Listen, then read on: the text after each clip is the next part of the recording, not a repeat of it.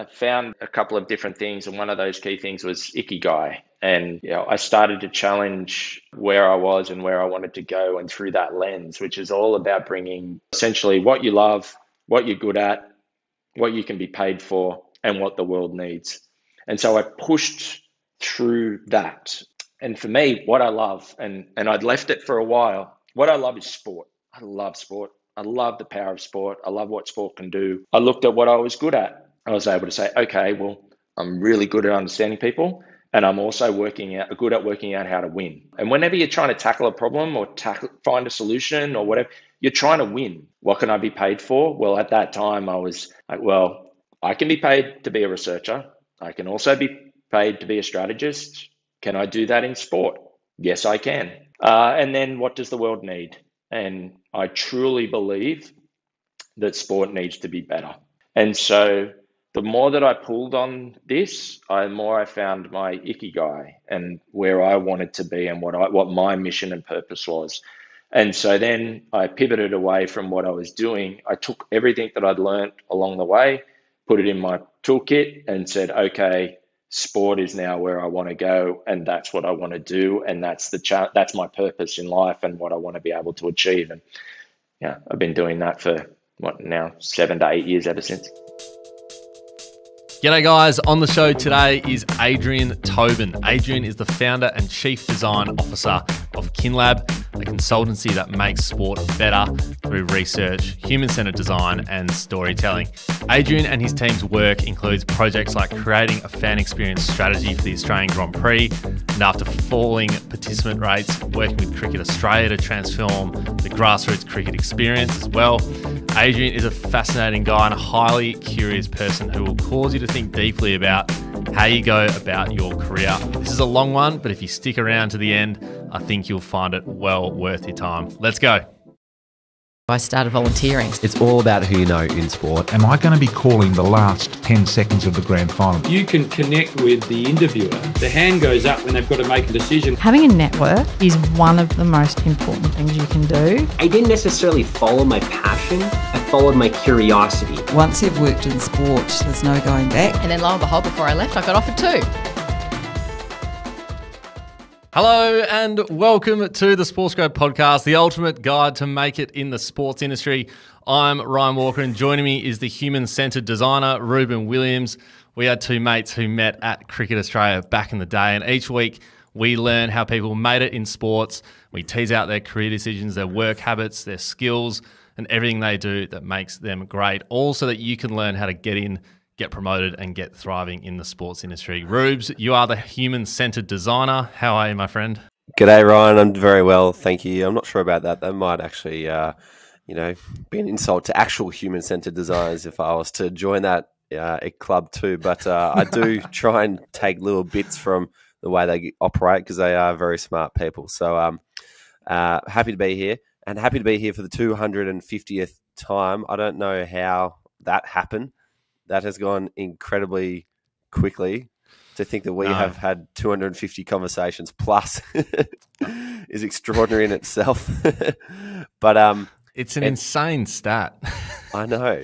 Do you remember when we started and we were like, let's just do it for three months, and if we hate it, then we can yeah. stop, and if no one's listening, then we'll stop. And 250 episodes, we're still talking crap, but it's been a lot of fun people have spoken. The people have spoken. That's right. That's right. They've, they've forced us into catching up every week, which we love.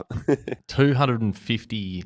We've had a conversation 250 times, which is yeah. incredible. We've probably spent. Oh, I'd love to do the stats on how long we've spent on uh, on a podcast, but yeah, it's an incredible stat. Did we think we'd get to mm. 250? I'm not too sure, but uh, it's been incredible. Uh, and we do love to celebrate our wins, Rubes. We don't sort of we don't let them go by and, and not think about you know the good times and celebrate the uh, the good milestones. And I guess 250, we always kind of talk about cricket scores on the podcast, and we've reached 250. There's not many who have reached 250 on a on a cricket field. Uh, I'm not sure if you know of any. 250, uh, definitely not me. You'd have to be looking at um right. at the the elites. I think um, I'm trying to think. yeah. yeah if Smudge has gone past two twenty odd, or or Marnus yeah. made Marnus was pigging Yeah. out on runs one summer. I I recall Warner made a massive 300 against Pakistan yeah, the other year. Um, but but uh, 250 250 is tough. but I, I remember us talking about Dizzy Gillespie. Mm. Yeah, two fifty is like yeah, you you've just torn them Yeah. apart. So anyway, not sure how many got to two fifty, but we can uh, we can raise the bat again. Um, but it got me thinking around some of our favorite episodes of the last fifty episodes because if we're talking about two fifty, we'll be here for a little while. Um, and I'm not sure you know if you've got any that come to mind, but for me, obviously Brian Taylor was amazing. Um, we've had both the great cricketer boys as well, which was just huge. And there's a lot to unpack just from those two, to be honest. Yeah, absolutely. Actually, it's quite phenomenal when you look back at our most recent podcasts, say the last 50 episodes, because we look at our we look at the uh, success of each episode based on the most downloads in the first seven days. And at the moment, the top 10 leaderboard of most downloads in the first seven days is currently filled with like eight or nine episodes from the last 50. So Brian's in there. I think both TGC Mm. uh, people in there. Uh, Melissa Lawton and Shane Leonage are both in there. So Melissa Lawton from SailGP, Shane Leonage, a performance analyst for Aryna Sabalenka. Um, both of which uh, led to me having coffees with them over in London. So that that was been, that was a really cool thing that this podcast has led to as well. Mm. It's kind of like uh, we use the podcast for our own networking purposes. And uh, we are very lucky to have these conversations because we have this one and then we can follow up for a coffee down the track as well. Um, but two others that, that come to mind as well Danny Bowron from Deakin University, a huge part of the podcast and how we were able to really jump in and do what we love. And, and that was, you know, jumping into the podcast initially. So Danny was a huge part of that. Um, first tears on the podcast in the last 50 episodes as well, Rubes. We would hate to not mention that. Um, and then we had Jordan Iannuzzi as well. So we've had some really great international guests, not just here in Australia. Think Jordan's just returned to Australia, by the way. But what, when we were doing that episode, he was at the New York Red Bulls, which was uh, which was pretty cool as well. Mm, absolutely. And then, not to mention, we've had a couple of amazing CEOs, a um, couple of amazing female CEOs in that as well. So, Michelle Enright, who was the CEO of the T20 World Cup, joined us uh, late last year. Libby Owens, CEO of Champion Data as well. And then around that mark, we had um, uh, General Manager of the Melbourne Stars, Blair Crouch, jump on for a great chat too. But then um, Mm. one of my favourite episodes came when uh, Rana Hussain jumped on the podcast. And this came from a recommendation from one of our members called Ankara. She uh, is a, a girl from India who wants to be a sports presenter in Australia. Didn't know it was possible if you were from an Indian background. But when she saw Rana doing her sports presentation work at the T20 World Cup at the Adelaide Oval, she saw her, got inspired, thought, I really want to Mm. do it, and uh, has gone on to be a presenter at um, the Mumbai Indians in the IPL. She like accomplished her like 10 year goal Yep. in like a matter of six months after seeing Rana. And uh, to be able to share with Rana that she was her inspiration was a, an incredible moment, which um, I think they've now connected and now they're best friends as well. So that's been another cool thing to come out of it. Yeah, we love that. We love good podcast stories. There's been a few absolute crackers along the, along the store along the way. So um, that's just a little insight in the last 50 episodes. Um, we we didn't reel off the numbers there, but I'm sure if you go through your feed wherever you get your podcasts, you'll be able to find some of those in there. Um, but happy 250 Rubes. Uh, Happy 250, Ryan. it's been great, and uh, we absolutely love uh, we love doing this. We're going to keep doing it, so we love it. Speaking of the podcast, we've got a big episode, so let's get cracking uh, on that. Um, if you don't already, follow us on LinkedIn, and if you want to connect with us and hundreds of others working in the sports industry, become a member of the Sports Grad community. And speaking of the community, there's been some ripper stories uh, in the last week, and uh, I'll let Rubes take away with those. Yeah, absolutely, Ryan. As always, lots of lots of wins coming through. Heaps of FIFA Women's World Cup action. Uh, this new channel in the wild is going off. Everyone's bumping into each other at work, which is awesome to see. Oh, it's so good. It's the best. I love it. I'm pretty active in it as well. yeah, you bump into heaps of people. yeah. Um, but uh, a special shout out to Rachel Bromley, who has just become the partnerships coordinator at Netball Queensland, specifically with the Super Netball team, the Queensland Firebirds.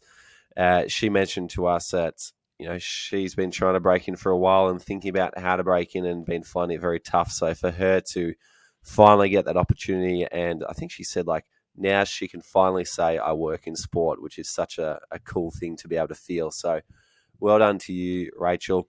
Uh, as always, we've got plenty of events coming up. We've got a job fair coming up with She Hoops, which is Lauren Jackson's organisation that helps people or helps women work in in basketball, and um, so they're going to be jumping on to uh, explain a bit more about their organisation. And then every fortnight, we have our speed networking events where you can meet a whole lot of members uh, very quickly. Uh, on top of that, there's a whole bunch of jobs going out. I believe Southeast Melbourne Phoenix put up a role recently. Ryan, uh, any yeah. others that come to mind there? There's uh, there's a few lately, um, you know, and I think like Inspire Tech as well. It's a great organisation. Mm. Um, doing great work in mental health in sports. They're, they're a sports technology company, so check them out. Um, there's a bunch, Cricket New South Wales, there's a few, um, Kojo, there's been a few lately, Grand Prix as well, we've put a few up as well. So there's jobs galore at the moment. Um, there's plenty of opportunity. So all you need to do is jump in and become a member, and you can you can find those. Fantastic. Well, if you'd like a quick email from us each Friday, where we share little blog posts about how people are getting jobs in sport, little tidbits, upcoming events, then uh, subscribe to our newsletter. Head to sportsgrad.com.au forward slash newsletter to subscribe. There's a link in our show notes to join. Brilliant. As we said at the top of the episode, this is a long one, but a really, really good one. So stick around with us, and this is going to be an absolute cracker. So grab a pen and enjoy this chat with Adrian Tobin. Everybody wants to study at one of the top unis in the world for sport. And at Deakin, you can do just that. So don't miss your chance to see what sets them apart at their campus open days this August. Check out the state of the art facilities, hear from their world class academics, meet with current students, and experience the campus vibe that they're famous for. Join thousands of the brightest students who have already registered to attend this unmissable event. Search Deakin Open Day and take your first step towards achieving your ultimate career. The Geelong Open Day is on the 20th of August, 9am to 3pm. And of course, Burwood Open Day is the 27th of August at 9am to 3pm. So check it out now and start your career in sport.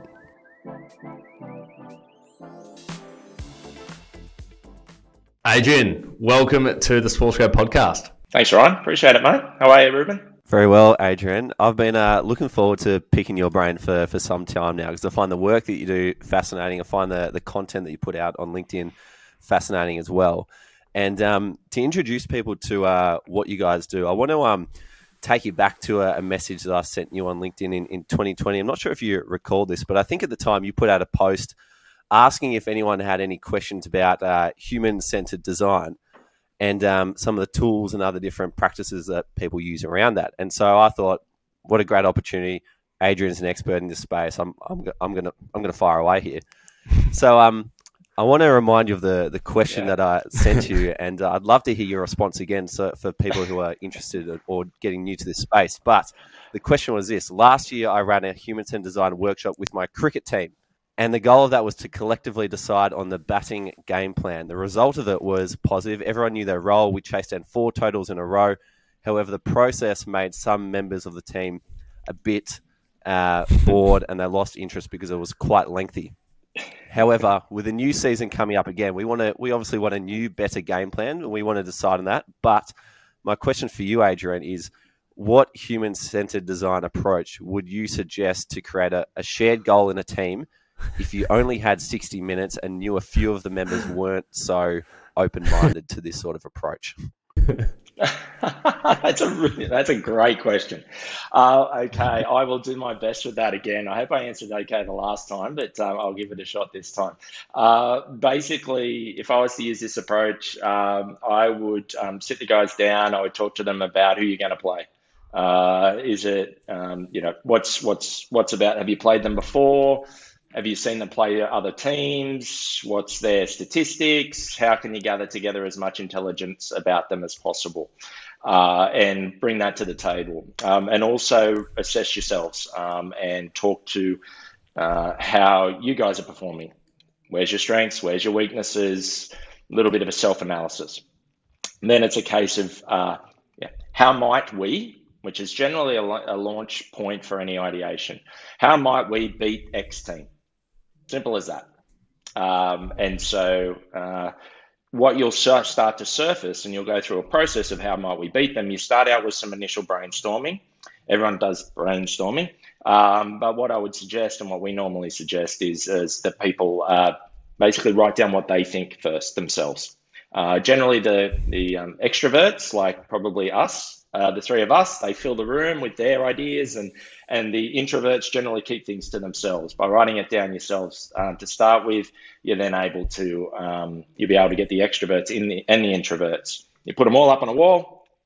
How are we going to win? Basically, you basically theme those things up. You'll generally probably find that there'll be somewhere between five to eight themes where the, the boys and girls, guys, whoever's part of the, the, the, the conversation, have put a range of different things together and they all end up being the same. Um, and so you'll end up with between five to eight ways of beating the team. Uh, you'll then basically go right. There's our there's our methods of winning. Um, how do we execute that? Uh, and then start to do some execution, and then and thinking about how you execute on it. Uh, then, uh, if you really wanted to get interesting and, and make it tactile, then uh, create some game scenarios and go based on this scenario. If we did this, what would be the result? and then you should surface with everyone agreeing, yep, that's the five ways we win. And this is how we would execute it, and away you go. Amazing. That, that was a lot more in depth than uh, what I yeah. got in 2020. So I'm glad we've got this recorded. I'll keep coming back to this season after season now.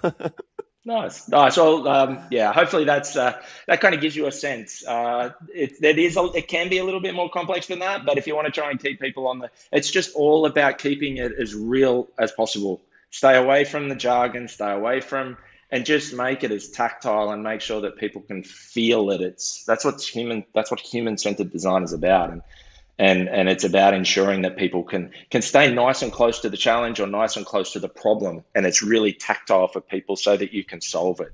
The more that you get lost in language and mumbo jumbo and jargon and, and then all of a sudden people get confused and they jump off. And so the more than you can just use plain language keep it really simple and easy um, and and take people on a journey uh, through that then you'll keep them engaged. And then as soon as you get into will this actually work Brilliant. and create scenarios, they'll bite on it. So yeah. Mm. That's a good one. I reckon. I reckon we didn't do the scenario planning last time, and I reckon that that's where all, like all the fun is. I reckon. And yeah. um, I was going to say, Rubes, did did the session consist of much of that but, uh, uh, in the Wycliffe change rooms? Well, it, it was a lot of um, like everyone had like a big piece of paper, and we had a whole bunch of sticky notes, and we like would go around the room and write down a strength Say, say, Ryan, you had a bit of paper. I would write, all right, strength, strong in the front foot, uh, weakness, uh, not very patient at the crease. so, and so then everyone would have like this collective, you know, essentially brainstorm of your strengths and weaknesses, and and then we kind of had like an overview of what we what we were working with before we could go forth and say, all right, well, how do we beat these teams now? But um, our uh, persistence with it was the was the issue because we kind of stuck to the plan for I think three or four games and then and then it fell off when we missed finals. More sessions required. yeah. Yeah, I think so. awesome. Thank you for that, Adrian. That was terrific. Yeah. um, Adrian, we start every episode. Uh, I'm sure you'd listen to a few episodes yourself, but we start every episode with some quick fire questions so that our audience can get to know you a little bit better straight off the bat. So here's a few questions for you. Um, a quick short answers required. So I'll start. Um, what was your first ever job? First ever job. Um, in a previous life, I was a professional athlete. I signed a, a, sports contract when I was 16 years of age with Kellogg's, um, and I was part of the cereal wars at the time, Uncle Toby's and Kellogg's Nutrigrain, and I raced as a professional surf Ironman for for a good eight years there. So that was that was my first job, and and and it definitely uh, it, it opened my uh, my mind in lots of different ways. Amazing. And uh, what did you study at university? Uh, so I studied uh, first of all, I did my bachelor of business. So and then post that, I uh, I moved on and did a, an MBA. Um, so a master of business administration. Then I've done a masters of marketing as well. Um, so uh, yeah, they're all through the University of Newcastle. So that's my uh, that's where the, where I grew up and a wonderful university that do and deliver exceptional programs. Nice. And uh, what's your favourite sporting moment? Uh, I'm a dad. I'm a girl dad. Very proud girl dad, but also a boy dad as well. So I'm fortunate enough to have uh, have both. Uh, my my favourite sporting moments are just the, the look on my kids' faces when they they progress a skill or they do something that was unexpected for them, and just seeing that on a tra- on the side of the training ground or on a weekend.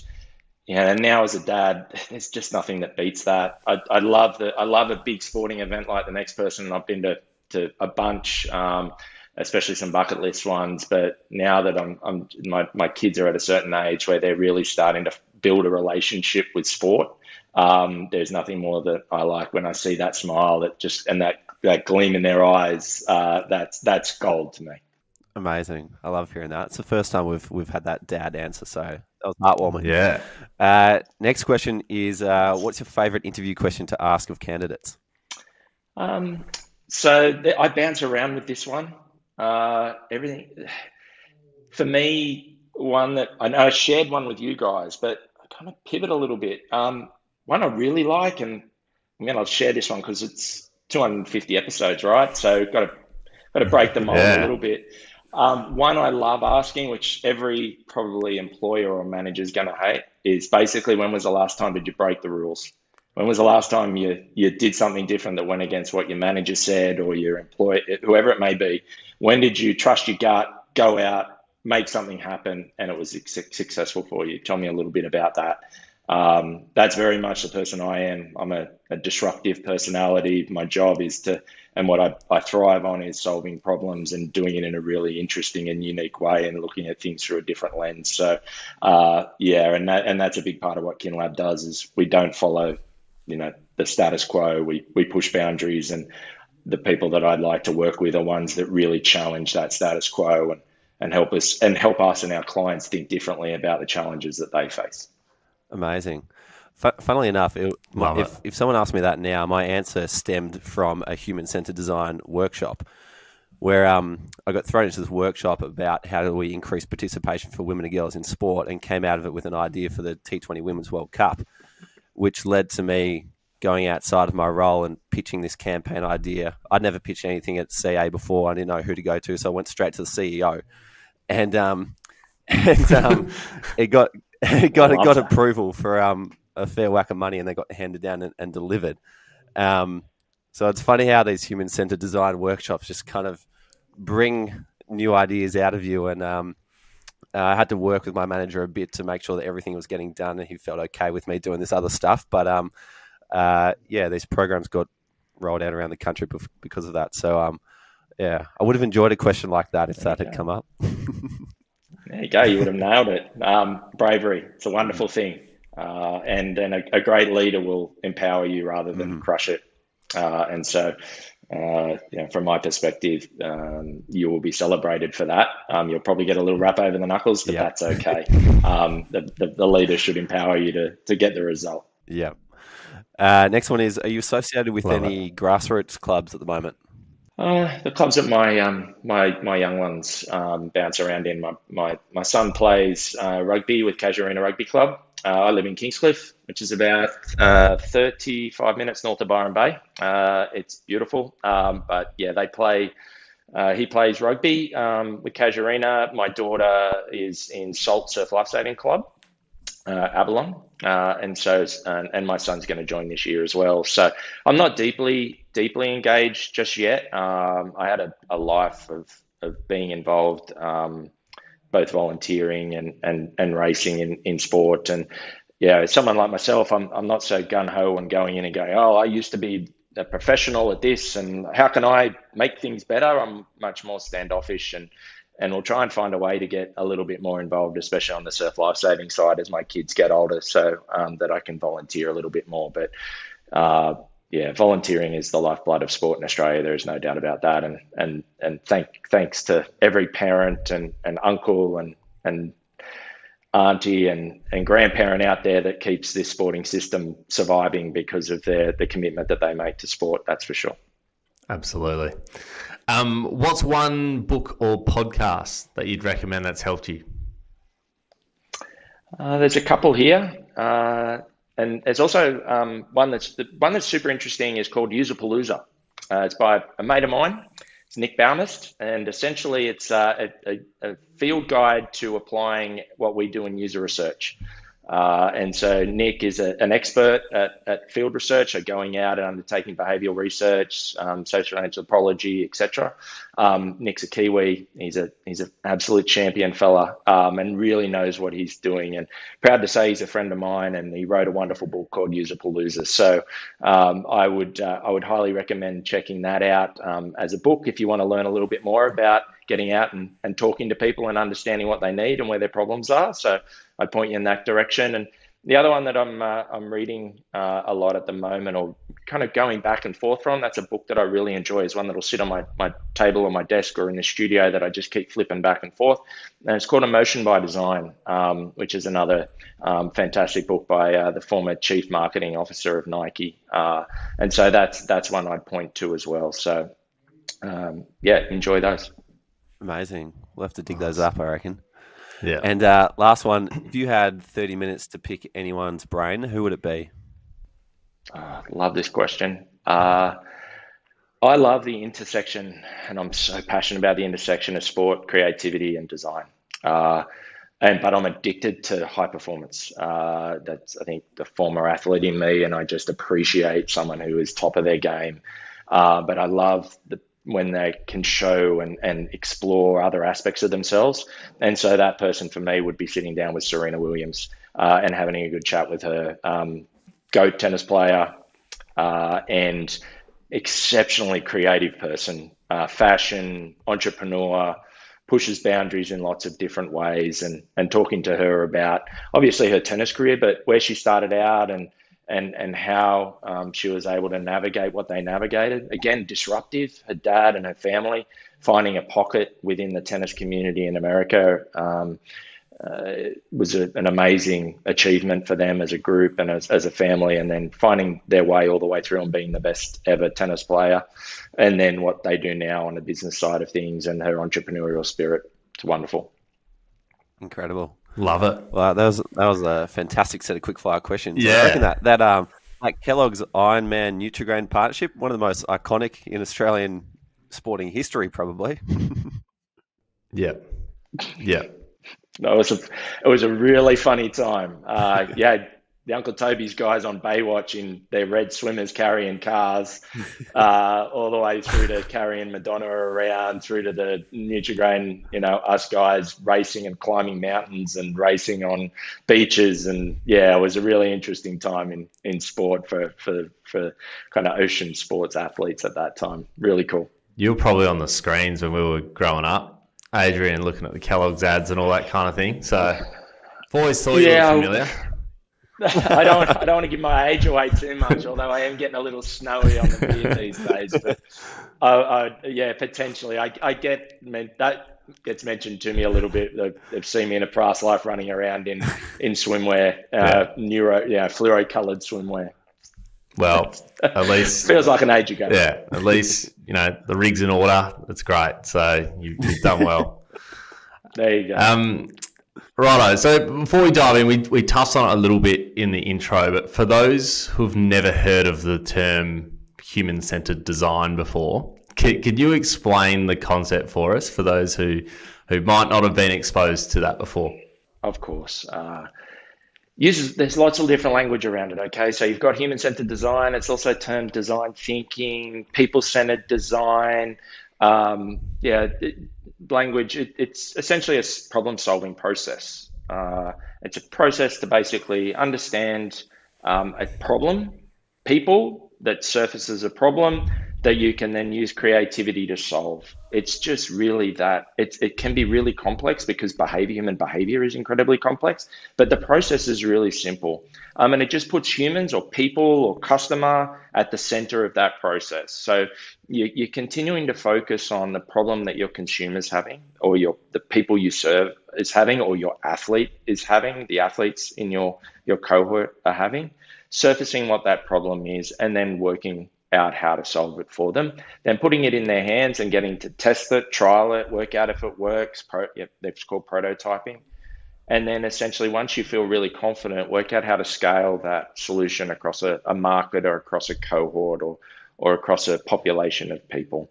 Um, yeah, but realistically, it's a problem solving process um, that essentially helps create change in the world, whether that be in sport, in health, in um, transport, whatever it may be. Uh, and so, yeah, that's that's probably as basic as I can put it.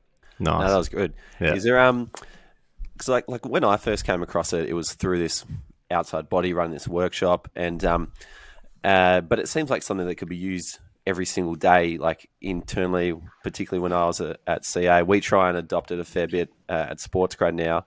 Um, what is the uptake of human centered design like across the different industries and organizations you've worked with? And do you think it's becoming more prominent or less, or what? Where's it at? Yeah, so I, in my uh, previous to KinLab and previous to to um, really focusing in on sport, uh, a large portion of my career was applying different methodologies to tackle social problems. So everything from domestic violence to health issues to a whole range of different things. Uh, and that started for me around 15 years ago. So uh, prior to that, I was using other tools in health promotion and behavioral economics and a whole range of different things. And human centered design, when I became aware of it um, through IDEO, um, which is probably the global leader in applying what we do, design thinking. Uh, and so I became aware of that. I read you know, Tim Brown's book. I was in one of the first intakes of um, humans introductory to human centered design that IDEO um, were essentially uh, running around the world, and and I became aware of it. And then essentially, uh, since then, it's it's become a core part of what I do. I've added systems thinking, so I encourage people to check out systems thinking. So it's a combination of human-centered design and systems thinking. System, you're thinking about a broader world. So think of it geographic-wise. It's like a town or a city, which is a system. And so within that system, people move and operate and do things. And so you map a system, but then you understand how people operate in that system. And that's what human centered design can really do is help you understand that and surface opportunities to innovate. And so where it's happened or how it's matured over time is that early early stages it was heavily used in government, heavily used in finance and banking, um, where money really sat and where innovation, especially where technology transformation was happening earlier. So definitely in banking, where you saw banking apps and banking experiences advance. And so you know, those those early stage, that's where maturity really kicked off. Uh, and so it's it's quite mature, mature in many industries. Uh, and so about in 2017 uh, I started working with um, Sport Australia, Australian Sports Commission, and applying systems thinking and human centered design to essentially work with them to design the digital vision and digital strategy for Australian sport. And from what uh, we could see, this was one of the first stages of human centered design being applied in the sports industry. Uh, and so IDEO had done a little bit here and there for some professional clubs, but it really wasn't widespread. And so that that kind of was the early stages and kicked it off. And and and over time, it's it's become the industry, the the sports industry has become more and more mature um, with it. Uh, and from my perspective, we're now starting to see a real turning point where, uh, in particular, um, some of the senior execs at, at Australian Sports Commission are talking about customer journeys a lot more than they ever have. They're talking about people-centered design and and undertaking um, you know field or ethnographic research to better understand people. So you know if I'm if I'm to say till now, the sports industry's been quite immature and, and the take up hasn't been as strong. We've been obviously pushing, and I've been pushing hard with all of the work that we've been doing. But I think we're getting to a tipping point where it's going to become much more widespread. We're seeing, even in the upcoming participation strategy um, for the Australian participation strategy that's coming through from um, Australian Sports Commission, one of the pillars is experience. And so we're starting to see a real shift in maturity in the industry to say that know, undertaking human-centered design, undertaking and using design thinking is is is now a pathway to improving experiences of people playing sport or or undertaking recreation. Mm. And I think, like for, for people who w- would be thinking about how do we solve problems as a team and worrying about what their direct reports might think, as a previous direct report, it's a lot of fun. Like I enjoyed yeah. work a lot more when we were doing that sort of work, and even like Ryan, I used to come and join you and the uh, community cricket team on a few um, weekly updates. Like some of the human centered design practices were a core part of the weekly agenda. I recall. Yeah, yeah, hundred percent. I, I, honestly, I'd never been exposed to that before, Rubes, until Adrian and KinLab came in, and I, I literally remember you know, picking up the pen and uh, getting the post-it notes on the wall. That's probably where we've, we've learned it from, to be honest. But it actually just created like a, a creative side of work. You know, like you're not just at your desk, at your computer doing your job. It's like, no, nah, actually use your mind and your own experiences to come up with what, you know, the future can look like. And it actually made work super, super enjoyable. So, yeah, um, I love it. It was absolutely awesome. Mm. Yeah, Cricket Australia's been one of the early adopters. We've been working with them for a number of years now and done you know umpteen projects and and they've definitely been uh, pushing the boundaries when it comes to human centered design. And AFL's been the same. Um, so the two the two big the big sports in the country are, are definitely been applying this for a number of years now, uh, and so the, it's now starting to spread to uh, you know beyond those bigger sports now into into the government and, and into some of the smaller sports. Uh, and so, but you didn't even get to do the really fun stuff, Ryan. Uh, and the really fun stuff, and the workshops are great. Yeah. Uh, and and they're awesome for teams and connectings. But to me, and what I enjoy most is going out and living in people's shoes being yeah. out there with fans, being out there with people playing cricket or playing AFL, you know, spending time with coaches or referees, just being in people's shoes mm. and observing and interacting with them and communicating with them and surfacing such rich data that you can't get through surveys and and and you know data analytics. You, you get that you get that real raw and pure relationship data. And sport is a sport is an, an emotive relationship.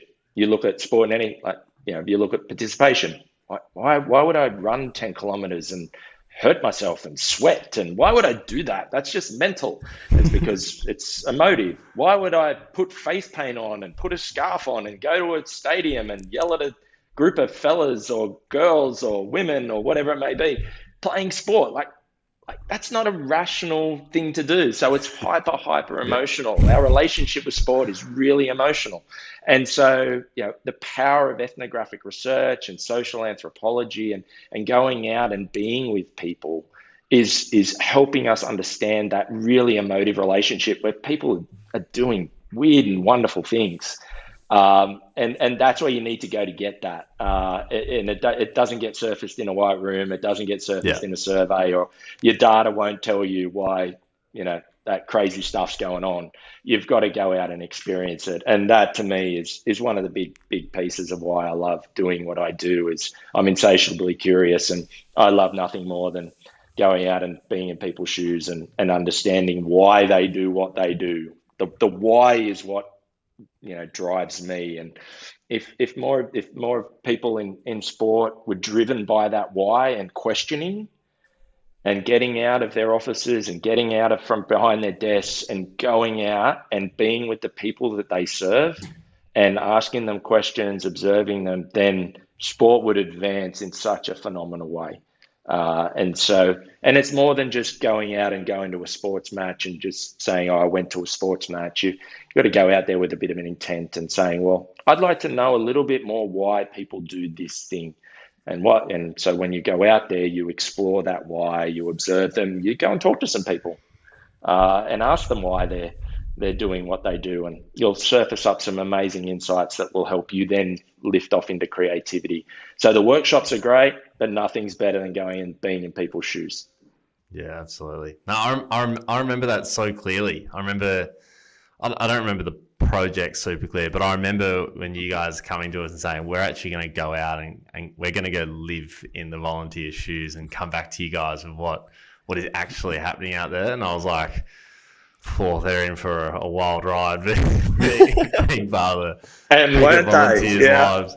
Um, yeah, yeah. But like, you know, you're right. You know, what you came back with was just like super raw detail about how these people do their you know, it's like a second job, obviously, but you know what their job is like at a career club, and how can we, you know, actually see what the problems are that isn't just from a form that'll probably be the same answer they've given to every question on a form, you know. So, yeah, it's um, it, it is super cool, and not many people I think would um, be as ecstatic to get out in the field like you are. So you you you're dead right by saying if more people did get out and, and actually understood the challenges of the day to day, I think the uh, the sporting landscape would be a little bit different. I would have thought. Yeah. Mm. Um, you've mentioned a whole host of weird and wonderful things, and I'm sure a lot of people listening are thinking, like, "Who is this guy who's just got this like wealth of knowledge?" to to add a bit of context to, to all that, could you share a bit about like um, uh, the series of experiences that you've had from you know starting off a professional athlete to you mentioned uh, Lab as well. What what was kind of the journey for you in your career? Yeah, absolutely. Uh, so yeah, uh, professional athlete. Went and studied a lot at uni. One of my first gigs, paid gig in a business, uh, was designing inclusion programs for people with disability. Uh, so understanding how people with disability and the barriers that they experience in getting out in the world, um, you know, just living their day to day, going to the shops, uh, going and, and you know the gym, undertaking recreational activities, seeing their friends, going to the beach, whatever it may be, and understanding what bar- barriers they experienced in order to do that, uh, and then working out what programs the organization I was working for, which is now which is called Life Without Barriers, how how could that organization deliver programs that help people living with a disability get out there? That's where it started for me. Um, you know, I didn't want to sell Mars bars. I didn't want to, uh, you know, sell newspapers. I, I, I wanted to, you know, create change in the world, and, and that that was a big driver for me, and that felt like where my mission my mission sat. Um, and then I played around a little bit. I ended up at a, a really interesting agency uh, in Newcastle, where where I, I grew up and spent most of my time, and I was fortunate enough to to design um, the uh, Newcastle Jets branding for A League One. So the first season of the A League, wow. uh, the gold, the research and and design. Yeah, so yep, the why the Jets, obviously the RAF base and flying in formation and and how that needed to link to at the time a relationship they had with United, uh, Newcastle United Football Club in the UK.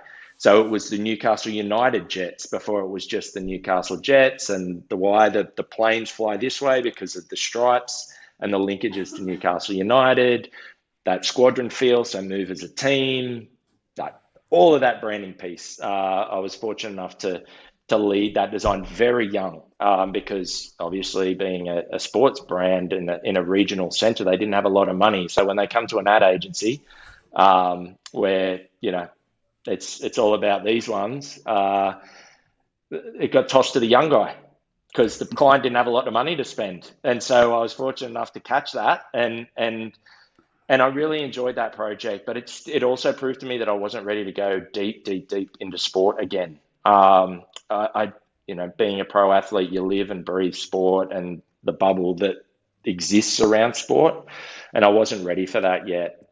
And so I, I, I pivoted off back into working in government and focusing on on social impact issues and and and you know, communicating and writing policies and developing programs, etc., in government and tackling a large number of different issues over a good you know, 10 to 4, 10 to 14 years in that time. Uh, and that is where I kind of really honed my skills, really honed my skills with so many different raw challenges that were really, really complex. Um, human behavior, especially when you're dealing up in the ends of suicide prevention or domestic violence or you know heart attack survivors or that that really raw and challenging behavioral space is is kind of where I really was had the opportunity to cut my teeth in problem solving. Um, but I also, you know, at the back end of that, I, I got to a stage where I was also a little traumatized. You spend a lot of time with people who are going through really challenging things. Uh, it can it can definitely have an impact. Uh, and so, you know, you know, when you interview 31 32, 33, 40 women who are experiencing domestic violence right at that moment. And you're trying to understand what they need to help support them in the stage of life that they're in. You don't, you can't just drop that and leave it behind. You carry it with you, um, even just as a researcher. And so that was a, a bit, and I ended up head of innovation at Beyond Blue, and I did some really interesting things. And then I, I always knew, uh, or within a couple of years prior to Beyond Blue, I was like, oh well, I'd like to get into consulting. I want to. I want to. I'd been applying human centered design. Design thinking was something that I was very you know passionate about, and so I um, I shifted across and took a role of uh, head of um, social and sport innovation at a firm called Symplicit. Uh, which was a design thinking firm in Melbourne and Sydney um, that was doing wonderful work, in particular in banking. And so I was focused on sport and social impact. Uh, and I also learned how to, you know, run a consulting business. I learned the mechanics. I hadn't done that before, and it, it helped me understand that. Um, and then uh, I pivoted off and, and took my gardening leave and decided that uh, I wanted to return to sport. Sport was something I was incredibly passionate about. It was my passion and my mission in life. I just kind of put it aside for a little while. And then um, I started up KinLab and it's been a whole lot of sport and lifestyle ever since. And so that's kind of been my my journey. Uh, but throughout that, and as I mentioned earlier on, uh, you pick up tools in your toolkit all the way through. And so I started out with your core basic, you know, your business degree.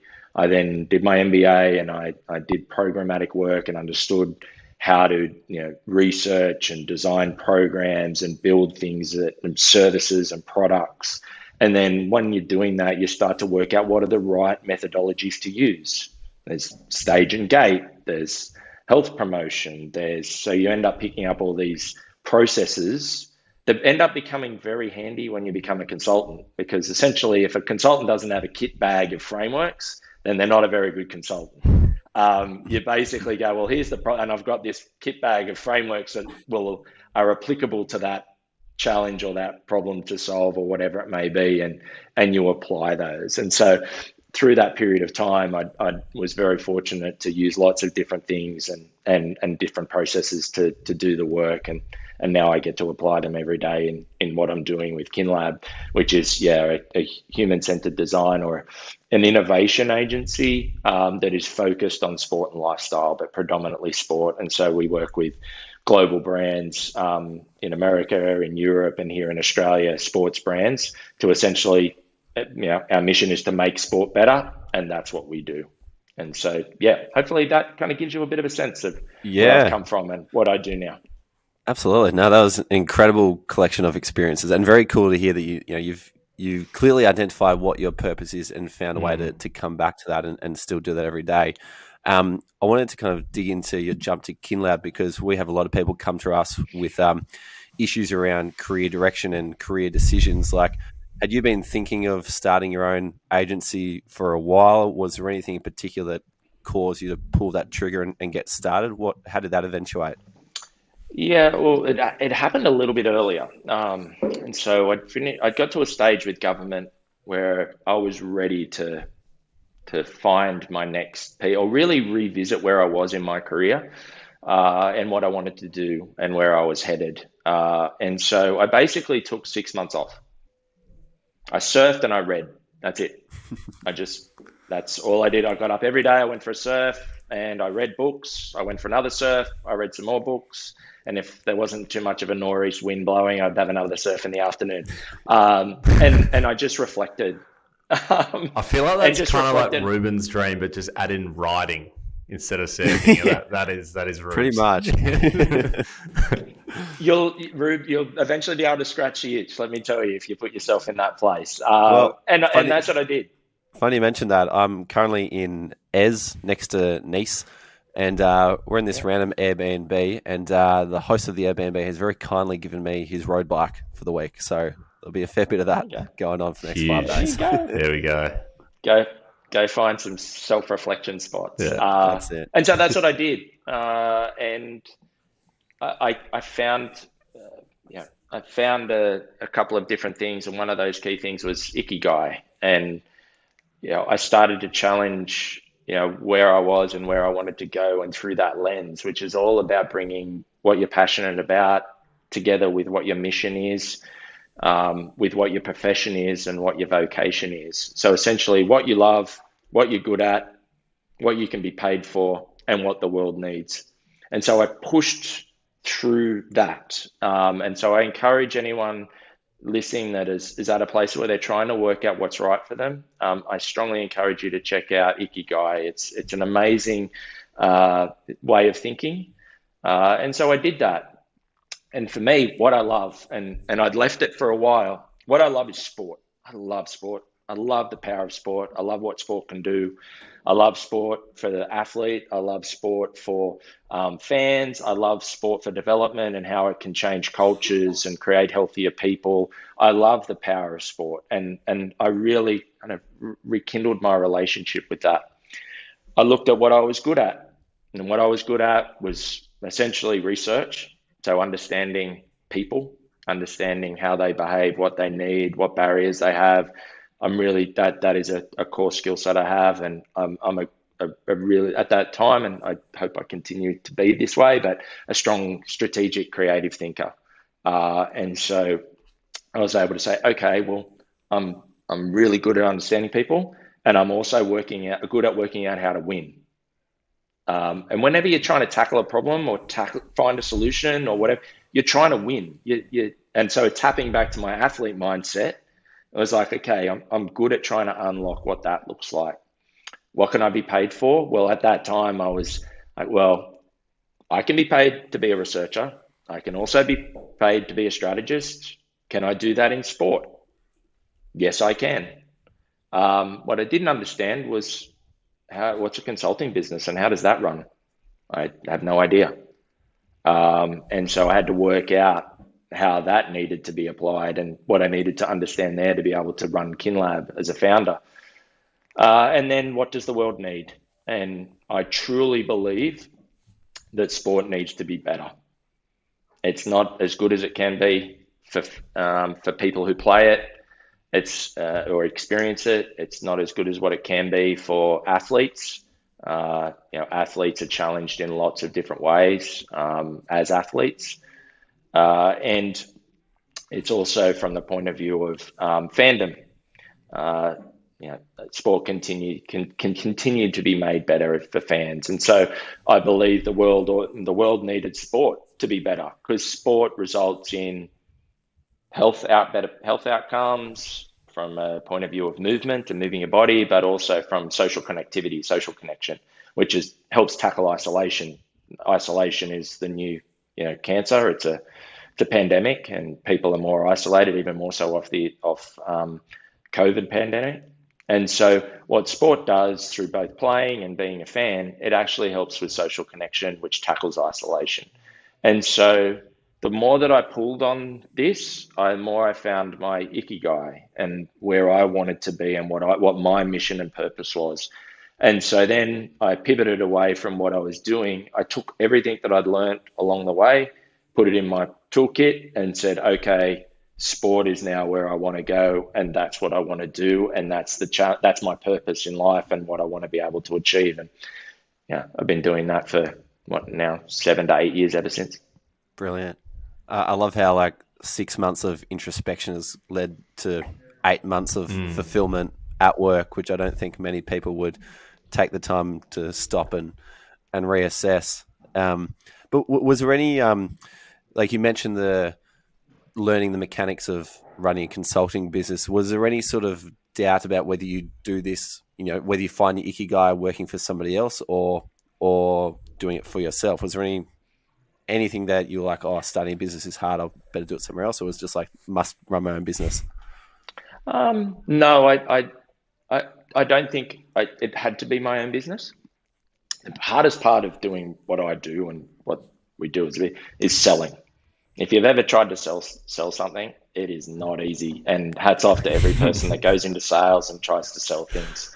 Um, it, it, it's it's a really challenging aspect, and especially when you're trying to sell yourself as a person and and your purpose and what you believe in the process. Because I'm, you know, in a sense, KinLab sells a dream. It sells an innovation. It sells a solution that doesn't exist yet, and so people need to look at you and believe that okay, I'm going to invest this amount of money. I believe in you and your team to be able to get the result and so it, it, sales is, is is definitely something that I hadn't done in the past. Um, working in government and working in social impact, and so it wasn't something that um, I necessarily felt really comfortable in to start with. And so that was the thing that kind of spun me between should I go and work for someone else or should I try and do this myself?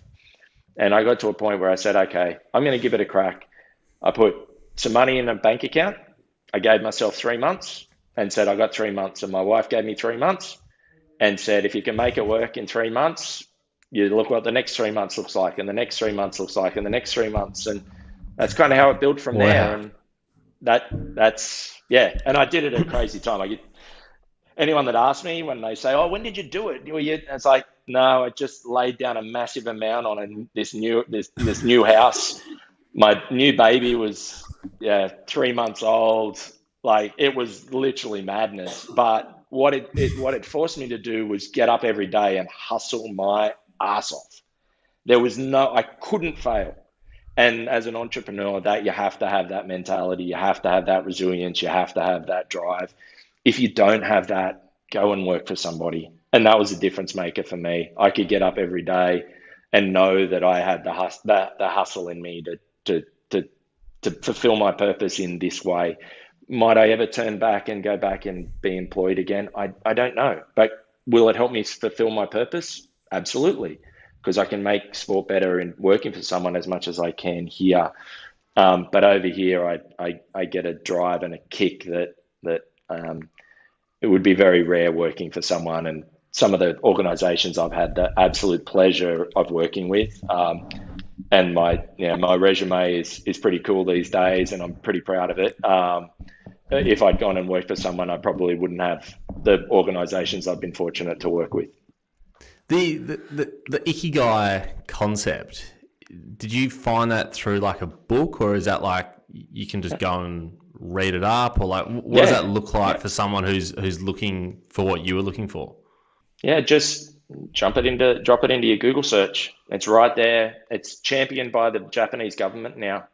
Um, so all the information you need on on Ikigai is, is at your fingertips. So just drop it into your into your Google search engine and um, um, or your search engine of choice. I shouldn't be brand orientated, uh, and and go and search it out. Um, in that early stage, um, it was because I had done a lot of um, work and research in in health promotion and methodologies and new ideas in that health promotion space and uh, you know, there was some some uh, academic research that was coming out of Asia around this premise or this concept of ikigai, and that's what led me in that down in that direction. And then once I'd opened it up, there was there was information that I could really get my hands on. Now, just put ikigai in um, into your search engine, and you'll find it pretty mm. easily. And it's wonderful. It's simple. It's pure, and it's wonderful to just self reflect. And and for for young people um, that are in, in university now or in their early stages of their career, it's a wonderful stress test um, of what you're doing and where you want to go and taps you back into your heart, which is, yeah, if, if you're not doing what your heart pushes you to do, you're never going to be as successful as what you possibly can be. If it's all driven here, um, everything that's driven here has a shorter shelf life. If it's driven here, it'll you'll lock in and you'll hold firm. And when you put the two of them together, nothing will stop you. Mm. And, and I, I, love your um, your business story as well, the way that got started. Because I think one way to be successful is put yourself in a situation where you don't have a choice of failure. you have to make this work. and it will drive you to do incredible things you never thought possible. and and and again, that for me, that and this is why when I, I mentor athletes, um, I'm very very fortunate to talk to athletes and and and talk to them about you know their next steps and things like that. And and it's one of the benefits of, of that I talk to the athletes about. But it's not just athletes, but they've got this um, level of resilience within them um, that is phenomenal um, because they'll get up and train, they get up and lose in competition on a regular basis, but keep on going. And they just have this innate skill and this innate resilience within them that is so transferable to being an entrepreneur. Um, and so it's it's it, it's helping athletes see that that entrepreneurial spirit lives in within them and they can tap into a level of resilience that's that's phenomenal that many many people can't. But that doesn't mean that you know you have to be an athlete to be a great entrepreneur. Um, you know, many people who have overcome adversity for long periods of time, and so there's this connection correlation between you know highly successful athletes who have overcome lots of adversity throughout their younger years, and they've built a level of resilience that's helped them as an athlete and so for entrepreneurs that have that have lived and, and tackled lots of different challenges throughout their early lives have also built up this amazing bank of resilience. And so if you've you've made a habit of overcoming adversity, you're going to get you, you're going to be more than likely be really good at being an entrepreneur um, because it's a it's a get up, drag down, get in the mud, punch it out life that that um, you need to have that. And if you're not up for that, then it, the best place is to go and work for a wonderful organization um, where, you know, it doesn't matter that uh, things like cash flow and whatnot don't matter to you. yeah, yeah, we know the pressures of that yeah. as well. Cash just does not matter. Don't, don't worry about it. no, doesn't matter. No, go away for the yeah, yeah. no, no, no. Or runways. Don't talk to me about runways. There, that's the dirty word. Yes. Yeah. yeah. yeah. Uh, we could have another podcast about that. I think. I um, think so. on on, the, so. on, that theme of um, uh, Ikigai, you guys have done some incredible work with Cricket Australia, Formula One, Nike, but um, all of those start with having a problem to solve. And um, now that you've got this like ikigai framework in your, your toolkit of a consultant, I want you to imagine if uh, someone comes to you in their early 20s, say one of your kids is now grown up and they approach you and say, Hey, dad, I'm having a problem with my career. I don't know what I want to do, but I want to love my job. If you were to apply, say, the Ikigai and, and anything else that you've got in your framework as well, what would you suggest them as a great way to to get started? Um, okay, um, so my 16 year old son, he's he's pretty much there. Um, so I'm actually there's a bit of a live example that I'm working through at the moment with him. But um, but the, the the trick is is that as I mentioned to you before, it's about what do you love and asking yourself, you know, questions about what you love and what's really interesting to you. What are you good at? What can you be paid for, and what does the world need? Frame that up for yourself as an individual. Okay, then take that in. So that's self reflection and um, and take take that and really uncover what that means for you. Talk to the people that you need to, um, your significant other, mentors, friends, whoever it may be, and talk to them about to help you crystallize um, what that is. Once you've got a handle on that, um, then let's have a look at kind of a human centered design process to it, right? Um, and so from there, kind of have a real center around what that looks like. Then you just kind of go into exploration mode. So explore. So what we call is uh, this double diamond kind of process or framework where you kind of explore, then you define, then you kind of design, and then you you, you deliver. And so, kind of four key stages where you diverge, converge, come through, then diverge again, and then converge again. And that's where the double diamonds come together. But first of all, explore. So, you know, review this, the kind of, if it's sport, review the system you know, understand what high performance looks like and, and kind of what's happening in that in that area of the system. Participation, community sport, explore that if that's your interest area or where you want to go. If it's more on the fan side and, and sports entertainment, dive into the fan world and understand what sports entertainment looks like in that area of the system. And then also where there's inter- interconnections. You know, one key thing is if you play the sport, you're more likely to be a fan of it. That simple. Like so, there's all there's not three. There's not they're not separate. because they're all interlinked. And then you've got, if it's in the athlete world, that they're the ones on the playing field, right? And so they're all interlinked, but find the part in the system that that that is where you want to be, which is aligned to your ikigai.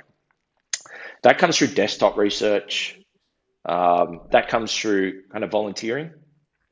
You know, do some volunteering. Go and volunteer for a major event. Go and volunteer for your local community club. Just but little, you know, stints that make sense for what you're trying to achieve and just unpack it and feel it and understand it a little bit more. This is where short term internships can also be really helpful. Um, and so, and, and do some things there where you get to explore the space that you're interested in. Once you kind of feel like this is, this is kind of feeling like what I want to do, then you kind of really define, you go in and deeply understand. So this is where you do things like just, you know, go into the field with your researcher hat on understand the sport, understand the business, understand the people that that business serves, uh, and really kind of interview, interact, observe, do all of those things that help you deeply understand the space, but also the opportunities, because that's going to pay you downstream. And I'll talk you through that in a moment. Um, but gather together all of that data so that you can kind of go, okay, I want to work in high performance. I'm really interested in swimming. Okay, so I've now reviewed the system. I understand that swimming, I'm a former swimmer or I have a relationship with swimming or whatever it may be. I've I've gone and volunteered for a local swimming club or I've offered to do an internship for Swimming Australia or you know the AIS or whoever it may be. Okay, I'm really comfortable in this space. Okay, out of my university uh, degree, I might have a tech background or a data and analytics background, or I might have done some AI or machine learning.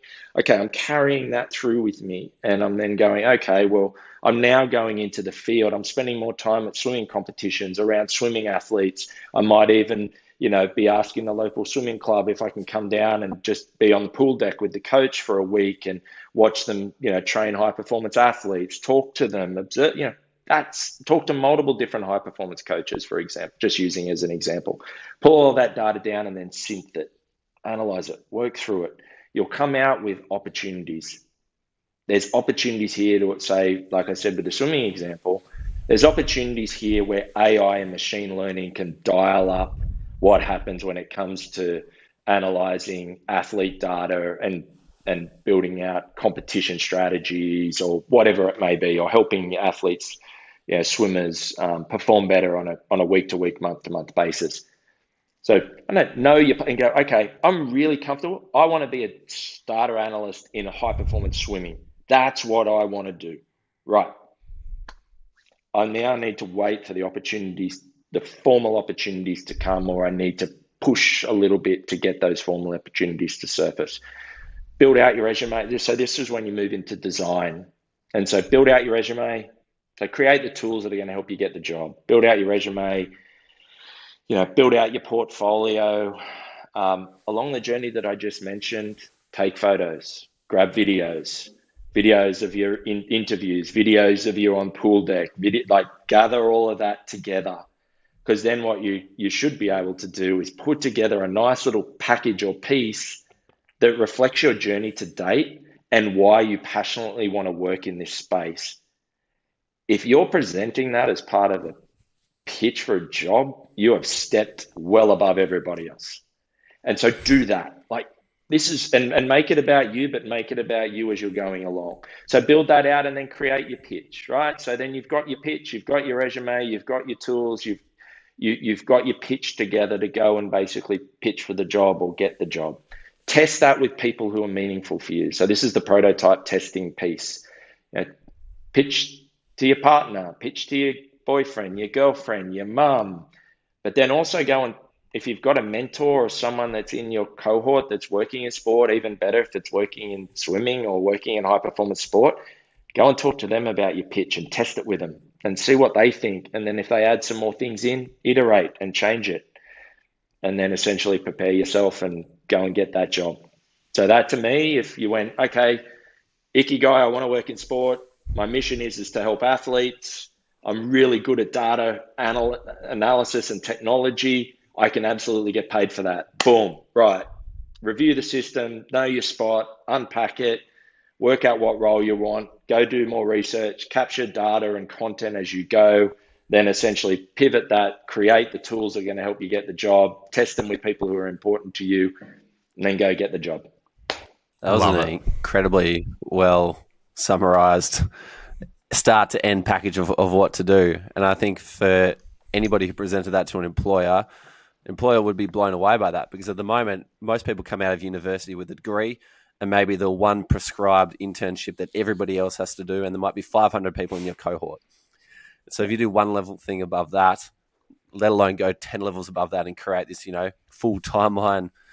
For example, you could start your own uh, data analytics and swimming social media account and just post on there every couple of weeks. And then by the end of it, it's just like, hey, yeah. here's a link to my Instagram or TikTok account. Mm. And they flick through that and say, yeah, okay, I'm sold. and You're in. um, that, uh, and, and if it's about, and this is the trick for, for young people, like once you nail what your, your ikigai is, then that's the job you want and it's about getting to that and you'll know you'll feel really confident and you'll do whatever it takes and there might be only five of those jobs that are available in the country or whatever it may be and and so you've got to do what's required to win one of those five jobs because you're probably competing against 200 other people. And it also stops you from going into jobs that you don't really want. Um, that mm. you end up just putting in a resume or a cover letter and you just join the bus stop of other people and but if, mm. if you're able to position yourself into a place where I am so passionate about this, this is my mission and I'm telling you a story and a journey and what I want to do, every employer and I know I would, if someone tabled that with me and be like, okay, let's do this. Um, mm. straight away without even considering, you know, I wouldn't need to consider much more other than cultural fit um, but if you're mm. showing me this journey and that you're passionate, then it's about going, okay, well, how can I now create an environment where you're going to succeed? And that's to me is when you've nailed this process. The leader sitting across from the table is going, I absolutely want you. And it's the challenge is on me creating an environment where you'll succeed. Mm. Yeah. Yep. Yep. Yep. I reckon um, the, one of my mates from my cricket club, his name's Scott Walton, and he now works with Dylan Buckley at, at Producy, and um, has done a whole bunch of social media jobs at, at, the AFL and in tennis and on the Footy Show back in the day, Front Bar more recently, and uh, I reckon he put together a Twitter resume at one point in time. This is just like jogged my memory right now, mm. and he was like just created this thread of his career and was adding in gifs and he would add links to some of you know his best tweets from the at AFL Twitter account and it was it was really quite cool. And he Scott's not someone who, um, by his own admission, did terribly well in, in high school, but since then he's just put his you know head to the ground and worked extremely hard and been extre- incredibly creative as well. And now he's literally like a weekly featuring weekly on on Dylan Friends show, which gets massive reach. So um, yeah, he's one who I think is almost ahead of his time in a way with what you're suggesting. oh, absolutely. Uh, and people have been doing similar things like this for a while now, exactly that, and they're the ones that end up winning. And the more that we have doing these sorts of things, the more, and the way that I see it is that the more people will be in the roles that they should be in, and then the sports system will be better for it. So the more that we can encourage, you know, graduates and young people to really find, you know, find their purpose and find what they want to do next, and then go through a process to get themselves in the right roles with the right leaders, the sports system will improve. So this is just one way of doing that, and which is why I love what you guys are doing. You're you're you're advancing the sports system by doing what you do day in and day out, and and and that's why I've been so supportive from the outset, um, mm, Ruben. Mm. Uh, and and we've been talking, you know, offline mm, about about it mm. over the past couple of years, and um, I think it's wonderful what you're doing, and you're you're making sport better by doing what you do, and I love that. Thank you, thank you. There's uh, and you're right though. Like it, once you get into a, a job that you don't like, but pays you, it's it's hard to get out. Mm. I think uh, Nassim Taleb once said the two most addictive things in life are heroin and a monthly salary. So you don't want to get stuck in a job that pays you well enough that you just stick in, but grinds you to the ground. Yeah. Yeah, absolutely. Because what we end up doing is we build a life around that salary or that wage, right? And so I have a certain car and I have a certain mm. house and I, I go to certain restaurants and I and so what ends up happening is is that salary is then builds the basis for the life that we then create around ourselves and our persona and who we are. And so trying to shift and change that is incredibly tough um, and so, mm. absolutely, uh, the the addictive part is I become addicted to aspects of my life and who I am, and I've then created this persona around myself that is all linked to how much I get paid every fortnight or month. Uh, and yeah. that's incredibly hard to shift when you want to make that shift, and it takes a pretty transformational change to do it. Mm. I've never yep. thought about it like that. It's uh, It's quite interesting, isn't it? I'm thinking about myself right now. Like my life is kind of dependent on what I earn each month, and my behaviour is dependent on what I earn each month. Like it's kind of i I've never thought about like that, Adrian. So you've you've opened it, my eyes today multiple times. Right, it uh, it, uh, it dictates the golf clubs you play at. Hundred percent. It's it's why I've got a second hand golf bag. I, I, should That's... have some perfect Titleist shiny clubs, but unfortunately, uh, I'm not quite there yet. But you're exactly right, Rubes. Probably dictates the you know the beers you buy or what golf you what golf course you play at. Uh, but yeah, it's interesting. Yeah, because you you're building that. Mm persona of yourself and then you, brands are associated with that persona and then you're, you're yeah. cultivating and curating something i'm using exactly that mm. as a founder of crest surf clubs and and you know essentially building and creating the first you know the world's first private member surf club in new york is know, high net worth people just want to be around high net worth people, whether that be in the club or in in the the lineup in surfing or in that environment, especially in in the United States. And uh, yeah, there's they've they've created a, a level of persona and a level of perception and what they can buy and what they do and how they live their life. And yeah, it allows us to create a an experience that is tailored specifically to them because this is exactly what they've done by being millionaires and billionaires. Mm. I've seen a lot of mm. content around that online. What, what when's like um, that due to come to fruition? When's the first surf going to happen? Um, so we're building at the moment, uh, and so we've done a ton of work to get to this point. It's about six years. Uh, you know, I've got wonderful business partners in New York, uh, the Pateras, uh, who um, yeah have uh, they're Long Islanders, they're ironed on, they're the local community guys, and and and they brought they brought me on on board about or oh, what now two and a half years ago. So it's been a bit of a journey, and it's been a wonderful journey. We did we're, using a purely a human centered approach, so the customers at the center, so the members at the center of every decision that gets made, uh, and so we're currently uh, under construction uh, and first waves first waves should run early next year um, prototype so testing testing stage, uh, and summer uh, summer next year in the US will be when the doors open. Wow, amazing! That'd be very cool. Yeah. Are you um? You mind if I ask? Are you an equity partner in this? Yes. Nice. And did you have yeah. to um, contribute in, or was it like an advisory stake?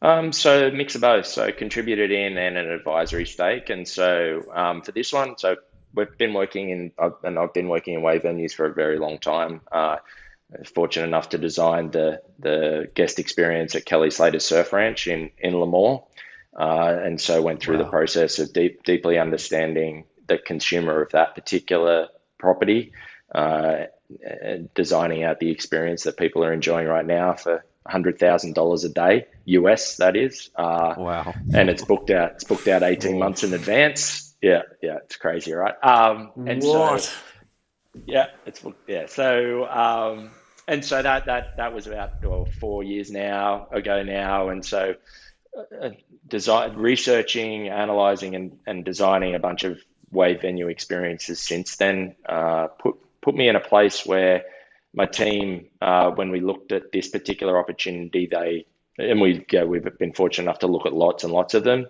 The big bright, shiny. They said, you absolutely have to get involved in this one. This one makes incredible sense. I did what I needed to do to get to, to get across it and understand it. Um, met with the Pateras and had a lot of different conversations, and the opportunity was there. Um, it was previously going, it was Long Island Surf Park. It was a private, you know, public kind of model on in Long Island that we then transformed the entire business model, brand, experience based on the research that we'd done into Crest Surf Clubs, which we then identified that the model was scalable around the world. So, you know, there were multiple markets that could absorb this. So we turned it into a globally scalable model. Um, and so, yeah, I, I invested down and, and obviously added in some advisory stuff on top of that. And, uh, and yeah, it's, I'm getting to build a surf club, which just blows my mind that I'm now at that, uh, getting able to do that. Growing up in surf lifesaving clubs all up and down the coastlines, and and now I'm building a private member surf club in New York is uh, is is quite a is quite a an amazing thing that I blow, blows my mind on a regular basis. Well, it kind of points back to the um, you know, the six months you took off for introspection of this is what I want to do. And when you find the thing you want to do, you get incredible opportunities that come off the back of that, which is like when you might think, oh, you, am I just doing this to kind of get a new job that will help me for the next three or four years? Like, no, you've got no idea what is going to open up for the rest of your life if you kind of go down this path. And this is a really cool example. Yeah, absolutely. People people can feel it when you're passionate. They can feel that like it's in your gut and you you want it like it, it, and I'm hoping some of what I and how I am, you can see that with me. It, if you're not into it, the person across the table can sense it. They know that you're ticking a box or you're not really that into it. Um, and so when when you tap into this and and you really start to kind of scale it, uh, you get opportunities that you never would have expected, and that's definitely what's happened for me. And um, yeah, if you if you'd asked me ten years ago that it, you know, and told me in by 44 you're going to have worked with the brands I've worked with. You're going to be building a wave, uh, you know, wave venue, a, surf club in New York, and and looking for more. And I would have just said, "You're crazy. You're crazy." Um, but that that those months of introspection just gave me a place where I could find exactly what I wanted and how I was going to go about doing it. And um, and now, yeah, it's magnetic. And and when you when people can feel it and you make them believe, amazing things happen. And so the more that yeah, the people that are listening to this and, and watching this realize that you know it's not a necessarily just about what your academics say or or or you know what experience you have. If you can sit across the table from someone and they can feel your passion and feel an, a fire in you that is going to only get brighter when you're in the right environment and in the right circumstance, then yeah, that's when you'll get life changing experiences. Mm. You mentioned there, like essentially storytelling and you know allowing them to believe in your in your passion. That's also sort of you know an area that you specialize in at KinLab. Um, and sticking with that theme, um, can understand, you know, for that lost, you know, grad or young adult looking for career direction, um, once you sort of help them understand what they want to do um, and what career options would, would obviously help them and whatnot, what would you do to sort of help them with that storytelling element? How can they be better uh, in an interview, for example? Like, how can I tell my story the best it possibly can be? Yeah, well, um, for me, it, it depends. So, as we've all experienced, different interviews are structured different ways depending on who you're interviewing with, or, or, or you know, government is very different to sporting organisation, which is very different to a startup, which is. And so, for me, it's about understanding the field of play. So, knowing, am I going in there? Am I answering five straight up questions where I have to nail those five questions with what I can deliver? Or is this going to be much more of an informal conversation where I need to kind of make this happen for myself? Um, and so it's understanding the field of play. So treating it like a game, right? Gamify it. Okay, the field of play is, looks like this, the rules look like this. Here's the rules that I can't break, here's the rules, rules that I can. And there's always shades of grey, even in government, you know, recruitment there's always shades of grey and it's up to you to find them. And so, you know, understand that and understand where you can push and pull and do different things that are going to make you stand out. So get that and then work out and design what those things are. Um, and if it's the opportunity to tell a story about, and I, and I use that example when I walked you through how I would, I would apply this from a human centered design perspective, you know, capture content throughout that journey, why it's important to you, why it puts a fire in your belly, why you believe that you can make a difference or you can create change, why you're a great team member, why you're good for this culture and it's a nice cultural fit and your values fit, etc. And then show some examples of, of, of, how you've done it or what you're doing um, and that allow you then to show your, you know, essentially what you can be paid for, what you're good at. Show some of that and tell stories around that and make them real. Like what I see in a lot of interviews and a lot of conversations is big words, lack of depth, you know, the more that you can, I think, tell a really human centered story, like a human story that's about you and about others, that helps people attach themselves to that. The more that you just use framework X and process Y and, you know, the person across the table isn't an AI bot, they're a human being. Make them feel something. You make them feel something, they won't forget you.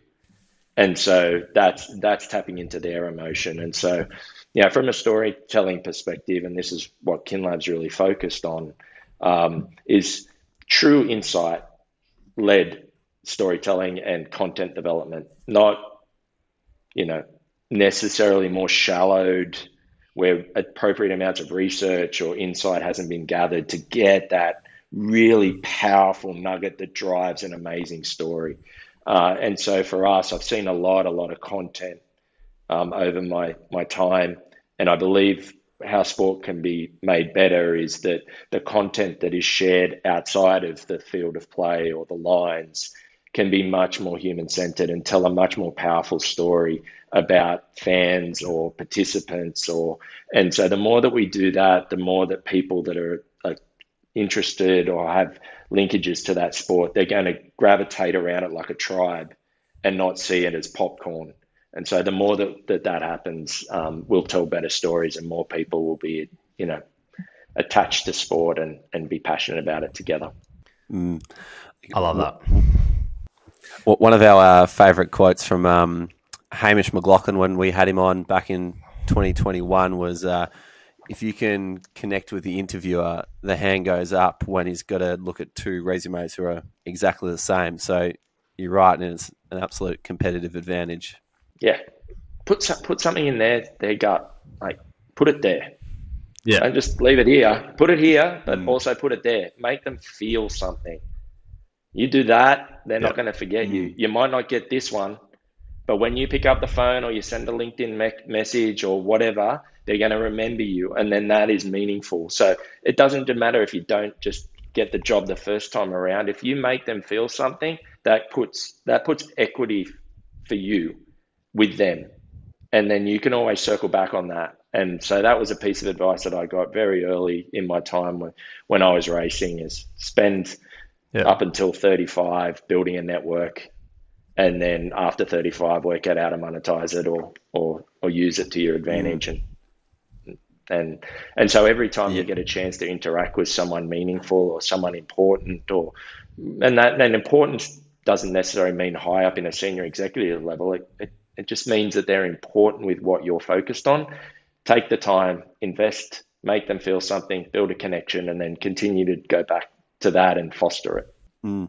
Well, one more example on that. Uh, Kimberly Furness, current general manager of HR at Netball Australia, used to work at Cricket Australia. One of the cover letters that landed on her desk when she was interviewing people started with the headline, I'm going to tell you why I deserve to wear the baggy green and then the rest of it flowed on to be this marvelous story about who they were, and yeah. I think they ended up getting the job from that.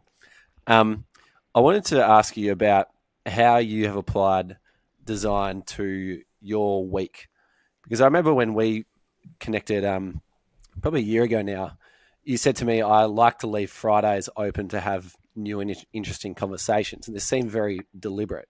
So I was wondering, how else do you design your week?